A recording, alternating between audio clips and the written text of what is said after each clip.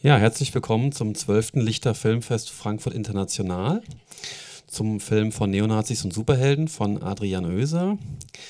Ähm, wir haben heute die Ehre, den Adrian Oeser als Gast hier zu haben. Da oben sitzt er. Er wird anschließend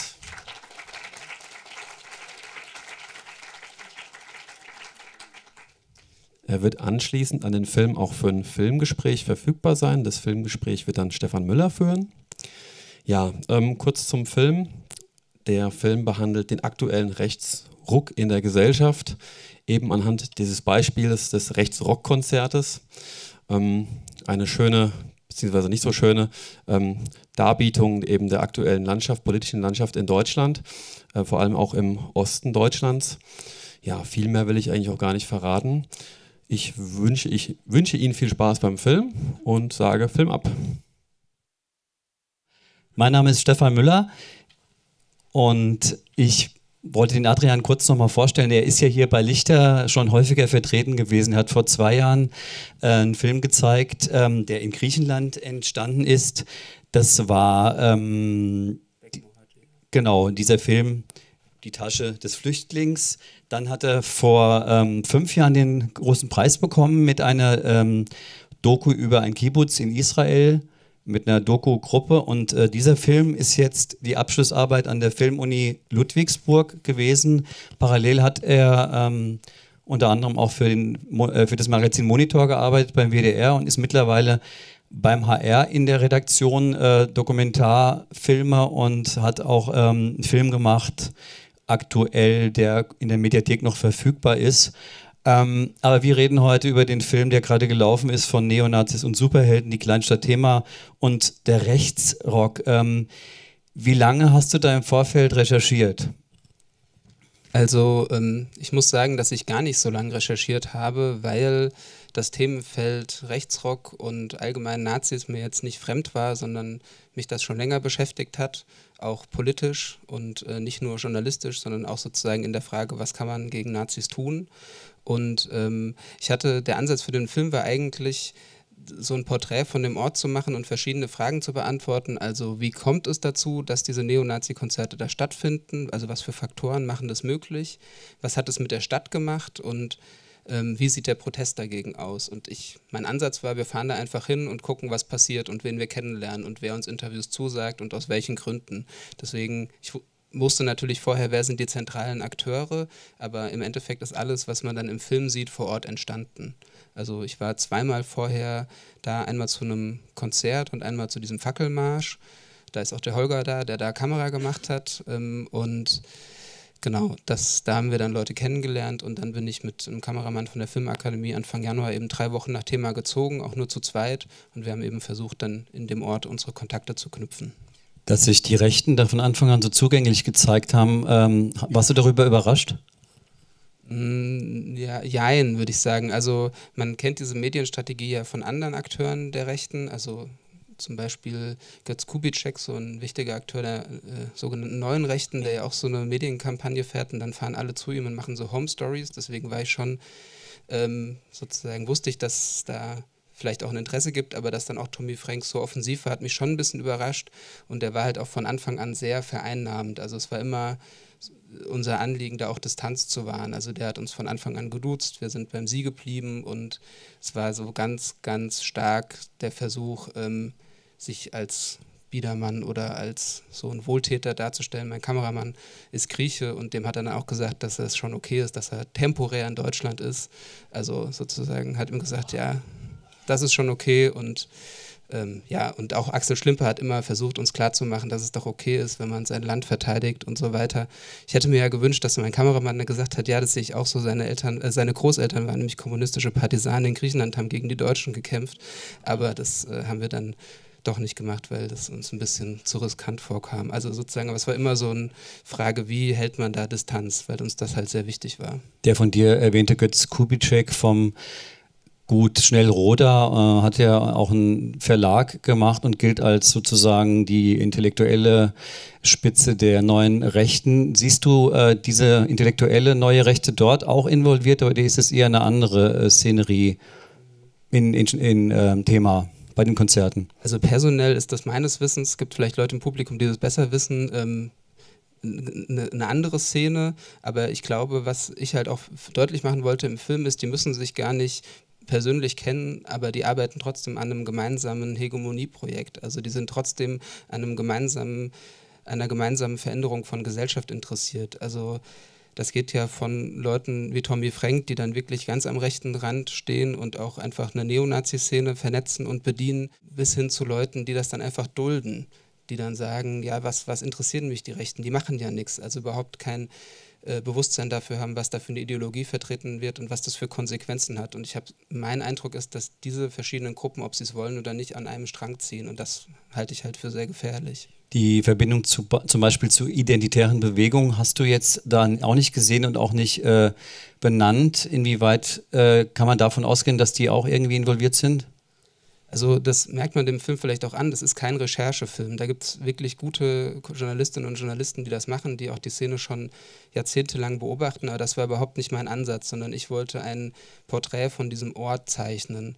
Trotzdem war es mir wichtig, dass ich die Leute, die da Akteure sind, nicht unkontextualisiert lasse. Also dass ich beispielsweise Katharina König, die ja meine Expertin ist, immer wieder auch sagen lasse, die sind nicht die Biedermänner und die Wohltäter, als die sich inszenieren, sondern das sind Leute, die halt in einer Szene vernetzt sind, die wirklich gefährlich ist, die die tödliche Ideologie vertritt ähm, also sozusagen, das war mir trotzdem wichtig, das zu kontextualisieren, aber ich wollte jetzt nicht die verschiedenen Verbindungen in der Szene aufzeigen, weil das einfach ein anderes Format ist. Wir können es an dieser Stelle schon mal sagen, dieser Film wird in wenigen Wochen in Dreisat zu sehen sein im Rahmen eines Themenabends. Wann genau? Also es ist noch nicht offiziell programmiert jetzt im äh, Internet oder so, aber am 29. Mai. 29. Mai, Dreisat, Themenabend Rechtsrock. Ähm, es gibt ein Buch, das heißt Mit Rechten reden. Da wird kontrovers darüber diskutiert, ob man denen überhaupt eine Stimme geben soll, weil das ist ja sicher etwas, äh, worüber du auch nachgedacht hast, äh, die können natürlich über ähm, die Interviews, die du geführt hast, in gewisser Weise auch ihre Ideologie verbreiten. Ähm, du bist zu dem Schluss gekommen, es so zu machen. Ähm, hast, du hast es auch nicht bereut. Gab es hinterher Diskussionen in deinem Umfeld an der Filmuni zum Beispiel, dass Leute gesagt haben, wir hätten es anders gemacht? Also, dass ich es nicht bereut habe, würde ich nicht sagen. Das ist ein stetiges inneres äh, Aushandeln. Aber ähm, ich glaube, ich muss, würde so ein bisschen trennen. Also ich als Journalist rede mit Rechten und Neonazis, weil das dazugehört zu einem, wenn ich ein Bild zeichnen will von diesem Ort Thema. Das war für mich auch einfach eine Entscheidung. Ich habe gesagt, ich will in dem Ort alle relevanten Akteure porträtieren und dazu gehören die halt auch. Politisch würde ich sagen, dass man nicht mit Rechten reden sollte, weil es sozusagen nichts bringt. Es, der Ansatz ist ja auch beim mit Rechten reden, dass man irgendwie dann durch eine Diskussion die überzeugen kann oder so, was ich für vollkommen abwegig halte, weil die ja ein ideologisch sehr gefestigtes Weltbild haben und ihr Diskurs ihre Diskursstrategie auch nicht auf einem rationalen Argument beruht, sondern darauf, irrationale Gefühle zu streuen, egal ob die eine reale Grundlage haben oder nicht. Deswegen würde ich sagen, man muss halt Neonazis politisch, gesellschaftlich, kulturell isolieren und bekämpfen, aber trotzdem muss ich, finde ich, ist meine Entscheidung als Journalist dahin gehen und gucken, was für eine, also was sagen die und was macht das auch mit dem Ort und ähm, Deswegen Katharina König-Preuß als so ein Gegenpart. Trotzdem war es mir auch ein Anliegen, so schwierig ich das selber finde, auch zu zeigen, wie sie sich halt darstellen. Und nach Abschluss des Drehs und auch nach Abschluss des Schnittprozesses waren auch Kommunalwahlen in der Region, zu denen auch Tommy Frank angetreten ist. Und er hat halt in Kloster Fessra selbst 40 Prozent bekommen und in Thema 20. Und dann denke ich halt auch, ist es für mich relevanter, den zu zeigen und zu zeigen, wie der sich verhält als es nicht zu tun, weil er ist halt eine relevante Größe in der Region. Was mir aufgefallen ist, äh, in diesem Ort gibt es offenbar keine Einwanderer, keine Flüchtlinge. Ja. Ist das richtig?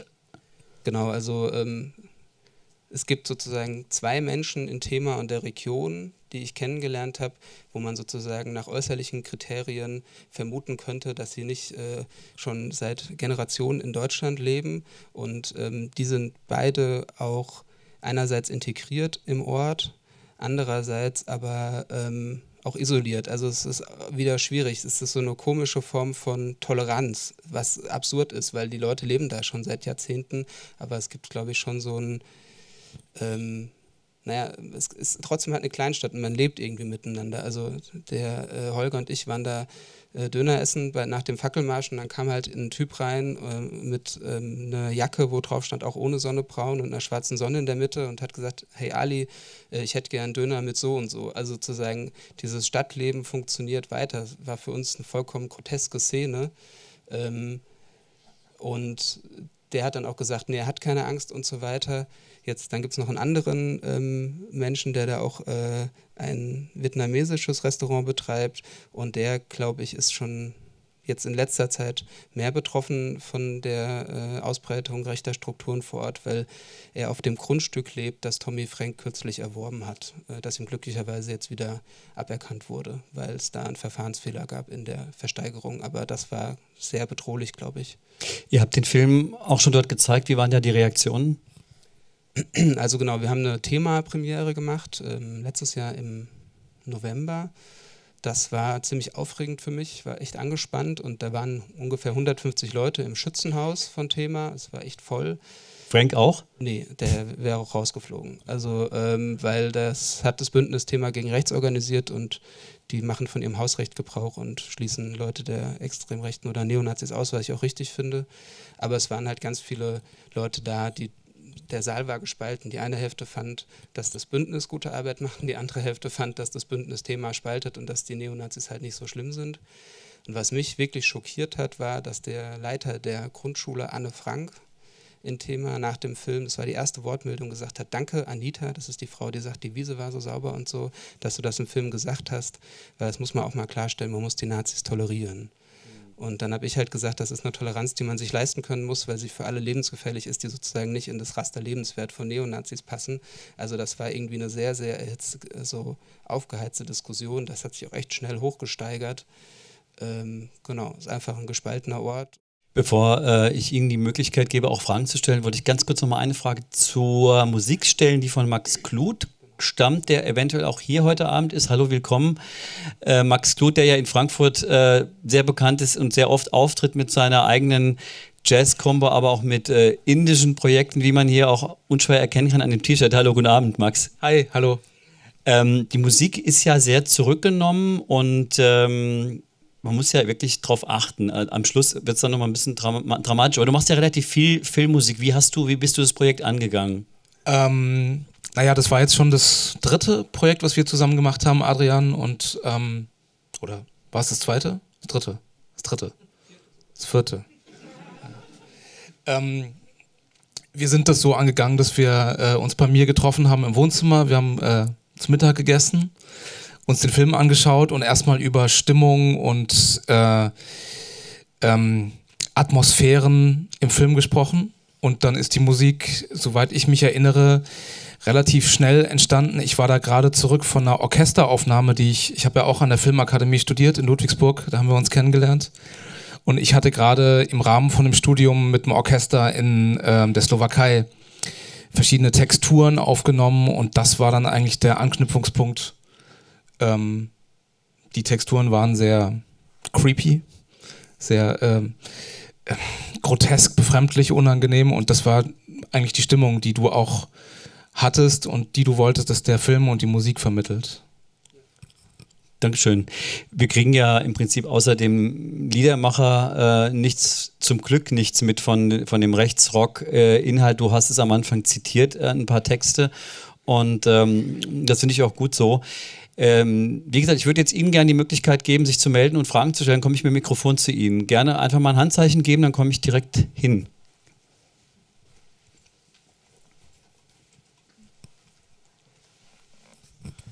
Ich hätte mal eine Frage, ob Sie was sagen können über die, äh, die Reaktion der Behörden oder äh, speziell der Polizei auf diese Sachen. Ich habe ja volles Verständnis dafür, dass man so Konzerte nicht einfach verbieten kann. Das ist Meinungsfreiheit und das ist Versammlungsrecht und das würde wahrscheinlich auch von den Gerichten sofort einkassiert werden, wenn da jemand versuchen würde, das einfach zu verbieten. Aber es ist ja so, wenn diese Konzerte dann erstmal laufen und die Nazis haben dann schon ein paar Bier getrunken dann dauert es ja nicht lange, bis sie anfangen, sie Keil zu brüllen und, und, und den Hitlergruß zu zeigen und all diese Dinge. Und das ist doch der Zeitpunkt spätestens, wo die Polizei eigentlich eingreifen müsste und diese Versammlung beenden müsste. Und das ist ganz klar Volksverhetzung, was da passiert. Haben Sie in der Hinsicht mal, mal nachgefragt, warum das nie passiert? Ja, das habe ich gemacht. Ähm, also man muss ganz klar sagen, da bei dem großen Konzert äh, im Juli 2017 ist, glaube ich, aus so einer polizeilichen Perspektive alles schiefgelaufen, was schieflaufen kann. Man hat das von Anfang an vollkommen falsch eingeschätzt, obwohl es ganz viele Akteure gab, die gesagt haben, dass das riesig wird. Aber es gab halt anscheinend kein Bewusstsein dafür, dass das so ein großes Konzert wird. Und man war vor Ort dann schlicht und ergreifend nicht handlungsfähig. Das haben mir alle Leute von Katharina König bis hin zu Thomas und auch dem Innenminister gesagt, die waren einfach zu wenige. Da waren 6000 Neonazis und die hatten einfach nicht genug Polizei, um da reinzugehen, was halt einfach unmöglich ist. Da ist ja eine absolute Parallele auch zu sehen zu sowas wie Rostock-Lichtenhagen äh, 1992. Da hat sich die Polizei ja sogar zurückgezogen und im Nachhinein ist klar geworden, ähm, das war eine Strategie, damit man hinterher das Asylrecht verschärfen äh, konnte. Ja, so weit würde ich da jetzt nicht gehen, ähm, auch weil es ja nicht zu Übergriffen kam dann im Thema, aber trotzdem war es so, dass halt die Einsatzplanung total schlecht war und dann, das hat ja auch ganz viel damit zu tun, dass es einfach kein Bewusstsein dafür gibt. Und Katharina König hat auch zum Beispiel so gesagt, und da kann ich ihr nur zustimmen, sie ist sonst kein, äh, keine Freundin von Polizeigewalt, aber in dem Fall sozusagen hätte man schon, wie es so schön heißt, mit unmittelbarem Zwang dieses Hitlergrüße unterbinden müssen und ähm, dann die Leute eben anzeigen, die die die die Straftat begangen haben. Man muss sagen, dass äh, Georg Mayer damals noch nicht Innenminister war. Der wurde erst im August 2000, ähm, August 2017 Innenminister, glaube mhm. ich. Und der hat sich dann, das sage ich auch im Film, so diesen Kampf gegen die Rechtsrockkonzerte zur Haupt Hauptaufgabe gemacht. Aber man muss leider sagen, dass da wirklich nichts bei rumgekommen ist. Also die Zahl nimmt weiter zu. Und er hat mir jetzt letztens auch gesagt, als wir uns bei so einer Veranstaltung hier in Frankfurt getroffen haben, dass er keine Möglichkeit sieht, das rechtlich einzugrenzen, wo Katharina König sagt, dass einfach nicht gut genug argumentiert wird vor Gerichten, weil einfach die Klagen wirklich laut ihrer Aussage, ich kann das selber nicht, also ich habe sie nicht gelesen, die Urteilsbegründung oder die äh, Klagebegründung, ähm, dass es einfach schlecht recherchiert und schlecht gemacht sei. Ähm, ja. Nun gab es im Jahr 2018 weitere Konzerte. Du hast ja äh, am Anfang des Jahres dann das letzte Mal gedreht. Das haben wir jetzt am Schluss gesehen. Das heißt, es ging ja weiter. Äh, wie ist es denn weitergegangen äh, mit dem Protest und äh, mit den Konzerten? Du hast es jetzt angedeutet. Es gab ja wahrscheinlich dann wieder ein Jahr später wieder ein großes Konzert. Genau, also es gab nie wieder so ein großes Konzert bis jetzt äh, wie im Juli 2017, aber es gab letztes Jahr im Juni äh, ein großes zweitägiges Festival von der NPD. Da waren, glaube ich, dann an den beiden Tagen ungefähr 2000 Leute da. Und da hat sich die, die NPD so versucht, in der Rechtsrock-Szene nochmal zu profilieren und eben auch wieder die Neonazi-Szene mehr einzubinden. Ähm, und da hat das Bündnis Thema gegen Rechts auch einen zweitägigen Protest veranstaltet und die haben echt meinen größten Respekt, weil die sind unglaublich isoliert in diesem Ort. Die sind ganz klar in der Minderheit und machen jetzt wirklich schon ganz lange diesen Protest. Die haben ja auch schon vor diesem großen Rechtsrockkonzert 2017 angefangen und bringen eine Energie und ein Durchhaltevermögen auf, wo, wo, wo mir echt immer wieder fast der Mund offen stehen bleibt, weil zu diesen Demos kommen dann so 100, 200 Leute und das ist halt schon ein großer Erfolg. Und die Leute lassen sich nicht entmutigen, sondern machen immer weiter und lassen sich immer wieder was Neues einfallen. Also die haben dann 2018 einfach dieses Gelände umzäunt, damit es nicht spontan erweitert werden kann. Das war eine total gute Aktion, fand ich.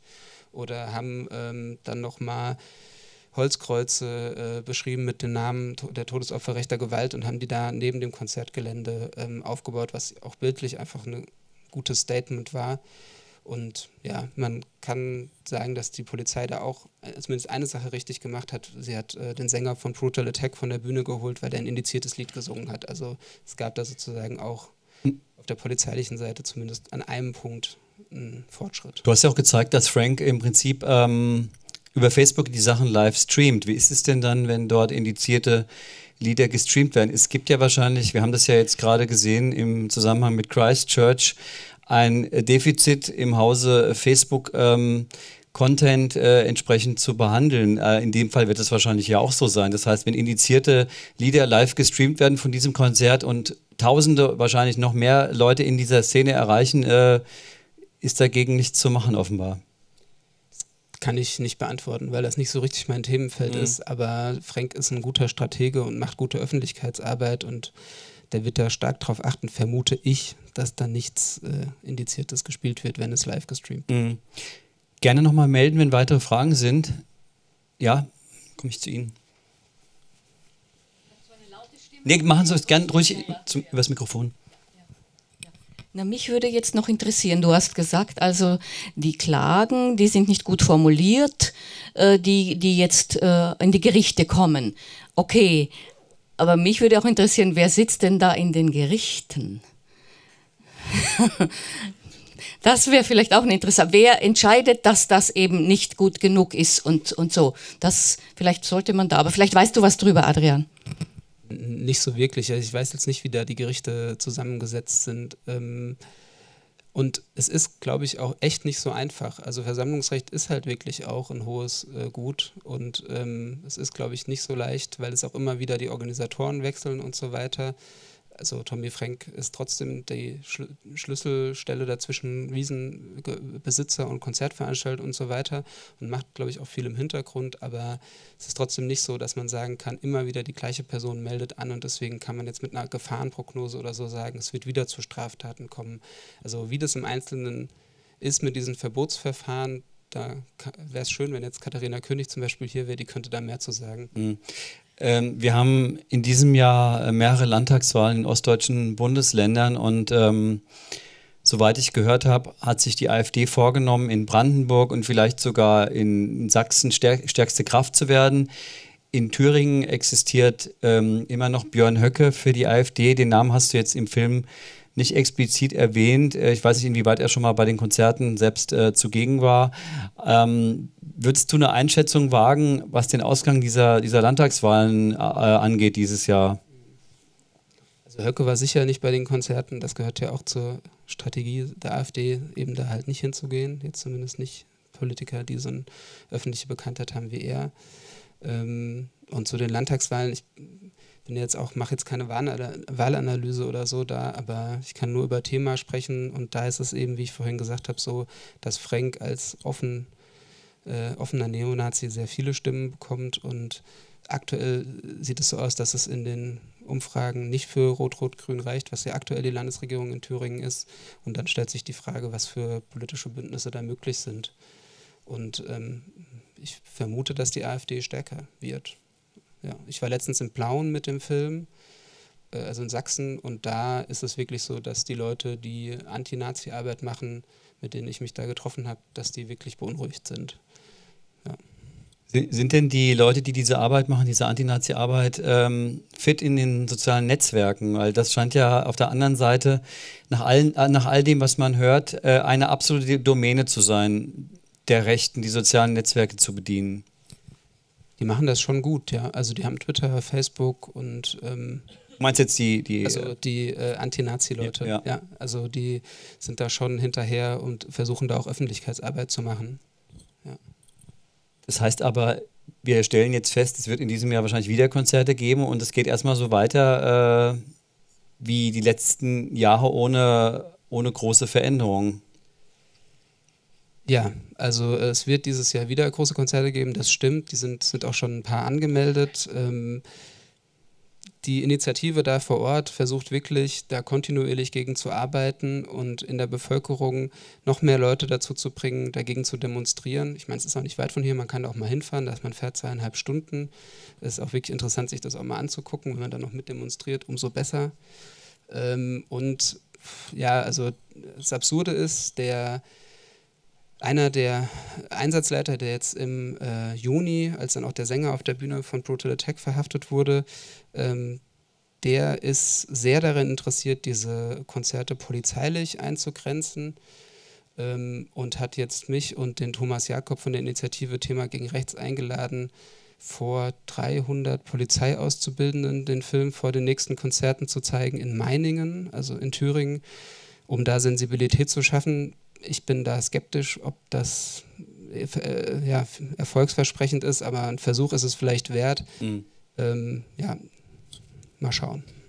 Du bleibst äh, am, grundsätzlich am Thema ähm, neue Rechte dran. Hast du da ein aktuelles Projekt, wo du im Moment recherchierst? Nee, also und ich muss auch sagen, ich arbeite ja sehr projektbezogen. Also ähm, das heißt, wenn ich an einem Film arbeite, mache ich halt den Film und wenig andere Themen. Deswegen ist das sowas, was auf jeden Fall mitläuft, wo ich versuche, ähm, am Ball zu bleiben. Ich habe den rechten Rand und äh, das Antifa-Infoblatt im Abo, also sozusagen tolle Quellen, wo man immer wieder merkt ähm, oder mitbekommt, was halt relevant ist gerade. Mhm. Aber ich arbeite jetzt nicht an einem Film zu dem Thema aktuell. Wir haben ja am Anfang gesagt, der Film läuft am 29.05. in Dreisat, aber es war ursprünglich keine Auftragsarbeit einer Redaktion des Fernsehens. Das war dein Abschlussfilm in Ludwigsburg.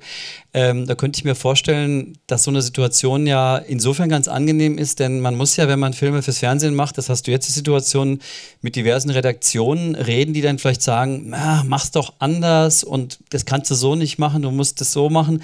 Hast du das als, als Freiraum ähm, empfunden, an der, an der Filmhochschule diesen Abschlussfilm ohne Redaktionen zu machen, die dann dir reinreden? Auf jeden Fall, allein aus dem Grund, weil es auch genauso gut hätte schiefgehen können. Wir sind da relativ, wie ich ja vorhin gesagt habe, ohne einen konkreten Plan hingefahren und haben einen Film gemacht, der vor Ort entstanden ist. Ich glaube, das kann man sich mit einem größeren Produktionsbudget, wo auch einfach viel mehr Geld dann dranhängt, überhaupt nicht so gut erlauben. Oder ich würde es mich vielleicht jetzt nicht so unmittelbar trauen. Ähm, und wir, ich konnte dann einfach den Film, ich habe dann auch selbst geschnitten, dann einfach so machen, wie ich ihn machen wollte. Ähm, Gleichzeitig bin ich auch niemand, ähm, der jetzt sagt, Redaktionen sind immer störend, sondern oft ist es auch so, dass da auch gute Ideen kommen. Aber klar, es ist echt schön, auch einfach einen Film machen zu können, wie es einem passt. Vielen Dank, Adrian Oeser, für diesen Talk. Wir können, wenn Sie möchten, draußen noch weiter diskutieren. Hier kommt ähm, irgendwann auch der nächste Film, allerdings nicht im Rahmen des Lichter Filmfests. Ich wünsche Ihnen jedenfalls, viel, ja, ich würde noch gerne eine Sache sagen, weil jetzt waren in letzter Zeit so viele Filmgespräche und immer wieder ging es darum, dass die Nazis mich da ja reingelassen haben und so und sich dann so öffentlich zeigen und so weiter. Und da gab es immer viel Diskussion drüber. Und mir ist eine Sache aufgefallen, jetzt beim Schauen gerade, dass ich es eigentlich total irritierend finde im Nachhinein, dass diese Initiative Thema gegen Rechts mich dann auch zu diesem Plenum äh, also dass ich da filmen durfte, weil ich nochmal so drüber nachgedacht habe, die sind so mutig, die zeigen da Gesicht, die wohnen vor Ort. Mhm. Ich war immer froh, als ich aus Thema weg war. In Thema mhm. weiß jeder, wer wo wohnt und nicht jeder ein Thema, also nicht, also Tommy Frank, glaube ich, weiß jetzt nicht, wer im Bündnis ist. Und ich fand das schon echt mutig von ihnen, dann auch die Entscheidung zu treffen, öffentlich Gesicht zu zeigen. Und zwar nicht nur der Sprecher Thomas, sondern eben alle. Und ab dem Moment, wo der Film dann in Thema lief, auch alle wussten, okay, die gehören zum Bündnis. Und das wollte ich nur nochmal hervorheben, weil immer so viel über die Nazis geredet wird und ich dachte, das ist auch nochmal so ein wichtiger Aspekt. Genau. Es ist aber davon auszugehen, ja.